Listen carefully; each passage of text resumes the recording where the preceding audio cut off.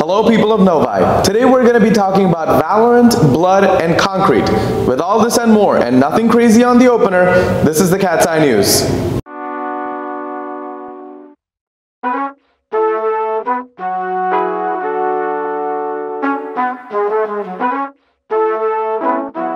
Email us at nhscatseyenews at gmail.com with your story ideas and we'll be sure to feature it on our next broadcast.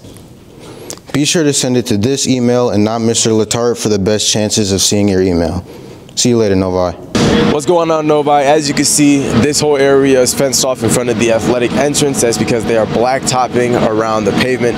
So be sure you don't try to get around the fences or mess anything up because they just want to get this done as fast as possible.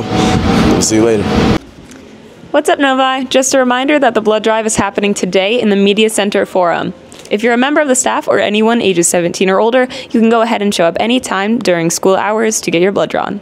Hey Novi, next week on Tuesday, May 7th, right after school in room 160, the Crochet Interest Group and the Classical Music Interest Group will be hosting their first joint meeting. They'll be making flower coasters for Mother's Day, and it'll be a nice opportunity to relax and take a break from your AP test studying. Snacks will be provided, so if you're interested, fill out the QR code on the side here. Hey Novi, the Photography Interest Group is having their next meeting on Friday, May 3rd from 3 to 4 p.m. in MC Lab 1 right across from room 182. They will be using Adobe Photoshop to edit pictures and more. Hope to see you there.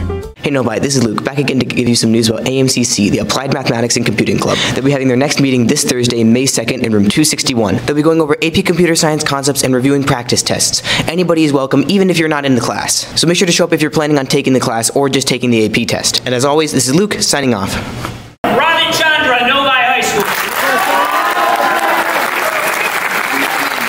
Novi High School senior Ravichandra was recently named the Michigan High School Esports League Valorant Player of the Year for the state of Michigan. We caught up with him to get his thoughts and reactions. Four years ago, I started um, this game, a brand new game that came out, and I feel like along the way I went through a lot of struggles, went through a lot of fights that I didn't really know I thought I would make it out alive. And I feel like ever since then, I just remind myself that these are the reasons why I keep going in my life, and the people that love me and support me are here to just keep me going. Ravit's individual drive and performances this season have been nothing short of exemplary. But in addition to his own individual accolades, he was also able to lead Novi Valorant to their first ever state title. Here's what he felt led up to that moment. I think the, the state title for us, um, we really just honestly, at first, at the beginning of the season, we practiced really, really hard.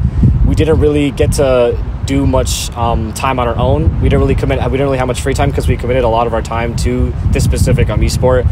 And I feel like that at the same time kind of took a toll on us because we realized that it's not all about just playing something or practicing something. I feel like made us all realize that we a team and it also is a team based game. So team bonding, team chemistry, and also individual skills should all be there. And that's why we're here today. And finally, he left us with some words of wisdom for anybody who maybe wants to be like him and pursue excellence in an esport or even just excellence in any aspect of one's life. I just feel like that obsession beats talent every single time. And that's the quote that stuck with me every single day, every single time I played Valorant, because I knew that more obsessed I am with my passion, the better I will be at um, in comparison to others with just people who have just pure talent. From all of Novi High School, congratulations, Rabbit. Greetings, people of Novi. I'm here with a quick forensics update. A few people from the Novi forensics team competed in the regionals competition at Groves on April 20th. I got first place in prose, Milan got second place in DI, all that good stuff. More importantly, eight competitors from the Novi forensics team will be going to the states competition tomorrow. We'll be in Battle Creek for two days, Friday and Saturday, competing in four prelim rounds, then hopefully a semi and a final. The results will be in at the end of the day on Saturday, so I'll let you know how it goes next week. Stay tuned, I'll be right back with the closer. At the end of today's episode, I would like to thank all of you for watching this broadcast of the Cat's Eye News. Nothing crazy on the closer today either, I'm taking a break. As usual, we'll be back with more tomorrow. Up next is your fourth hour teacher. Goodbye.